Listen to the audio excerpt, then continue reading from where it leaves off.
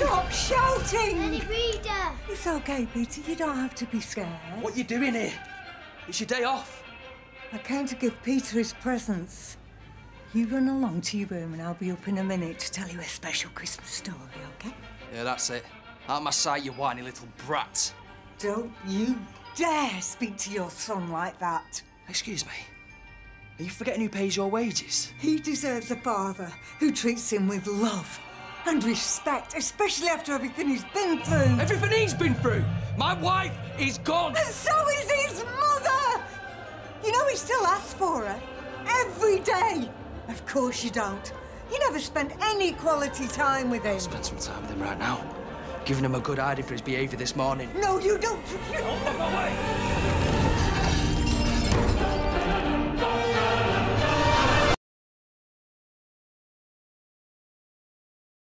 We'll have to walk to the airport and then we get there in that pile of junk.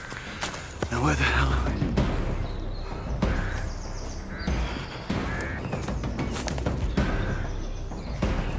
we? Oi, come here! Bobby, come back!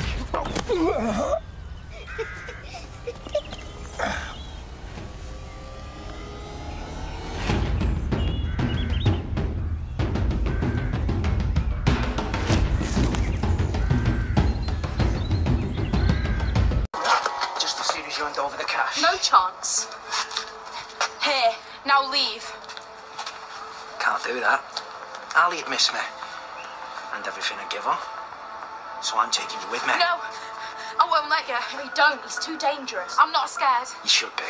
Oh, get off me! leave me alone! Get your grubby hands off that young girl. Do you want Nanny McPhee? I am a nanny, as it happens, Perry's nanny, and if you don't let her and her friend go, I promise you, you will regret it. And it's time for you to go, and for good this time. You've been taking advantage of vulnerable young girls for long enough. Well, maybe I don't want to leave. Maybe. I like it here. We had a deal, Ronald. A man's only as good as his word. Yeah, the deal was you came alone. And if you're not going to live up to your end, I don't see why I should live up to mine. Okay, well, I'll just. Don't be a silly boy, Ronald.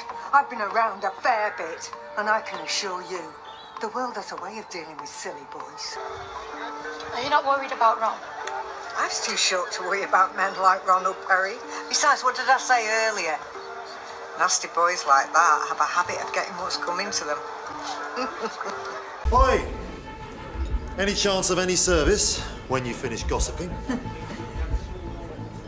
Do you know, someone told me today what a nasty piece of work you are, and by the way you've just spoken to me, looks like they were right. You can tell her from me that uh, I've only just got started. That lot won't know what's hit 'em when I've finished. Anyway, you getting that drink or what? Of course. But it wasn't even worth it. There you go.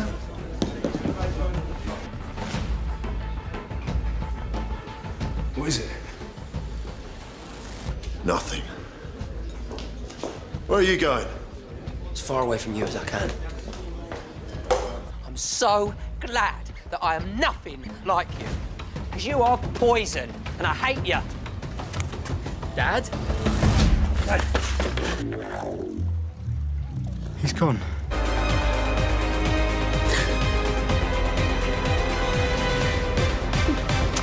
There you are. You keep hold of that. Give it a little snuggle.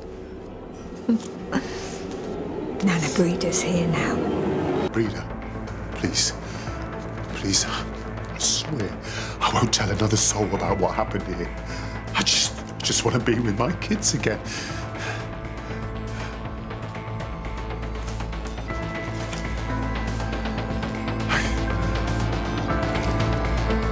I don't believe you.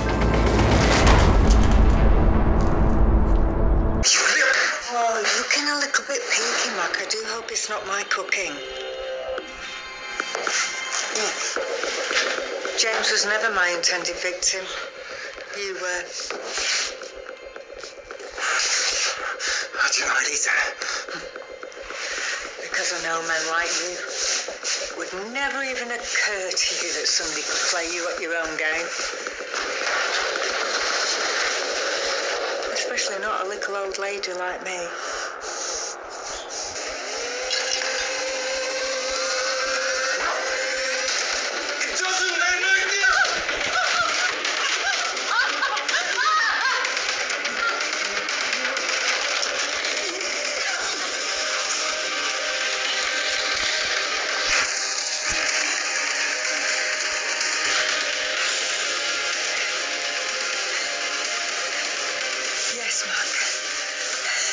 This is how it ends.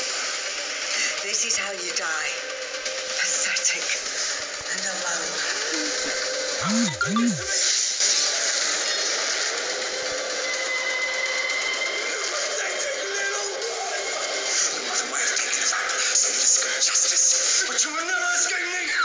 You are no longer my father. You're not just dead to me. You never even existed. Some dads in my time, but you were the worst.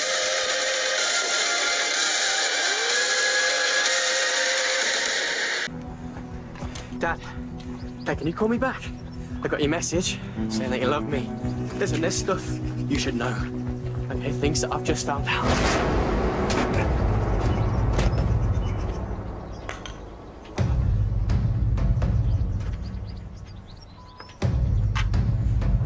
Know if he spent some time with Sadie and Isaac.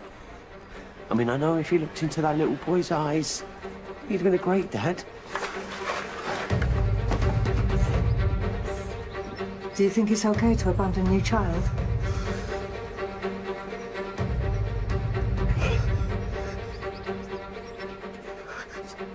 You stabbed me. Why? I'm a protector of God's children.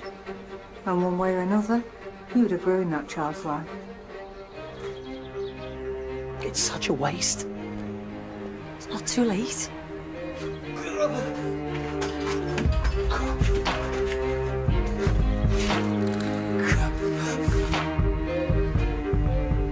Look, I'm going to drive around tonight because I can't give up on him. I've met a lot of dads like you. They always meet a sticky end. No! Look, oh, I, oh, I was going to come back. I, I was going to make things right. I was, I was going to do the right thing. Deadbeat dads don't deserve to live. Despite everything, Diana, I love him so much.